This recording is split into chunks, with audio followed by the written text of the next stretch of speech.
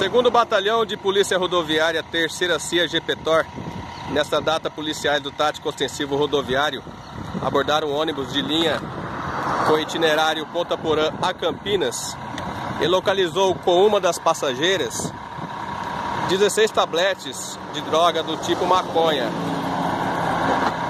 Em outra poltrona foi localizado uma pessoa procurada da justiça.